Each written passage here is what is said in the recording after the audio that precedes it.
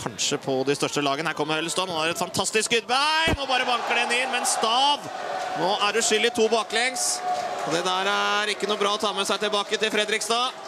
Nei, det er, eh, for det første så er det passivt av den norske midtbanen der, som eh, bare lar Tøllestad få leke med ballen her og ta med seg videre. Det er et elendig press av eh, uh, Åri Larsen der. Men det er klart at uh, Stav skal ta den selv om han spretter akkurat foran der og får en ek ekkel stus. Så burde han ha fått den unna.